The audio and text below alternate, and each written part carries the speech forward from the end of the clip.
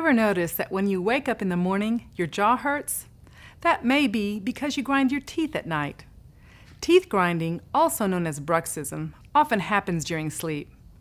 Bruxism may be related to stress and anxiety, sleep disorders, an abnormal bite, or temporomandibular joint disorders. Symptoms can include a dull headache or sore jaw. Your teeth may become painful, cracked, or even loose from grinding. Your dentist can fit you with a mouth protector to help guard teeth during sleep. If grinding your teeth or clenching your jaw is caused from stress, find ways to reduce tension. Try practicing relaxation techniques, exercising, or yoga. If you have any questions regarding bruxism, ask your dentist. For the ADA Dental Minute, I'm Dr. Maria Lopez Howell.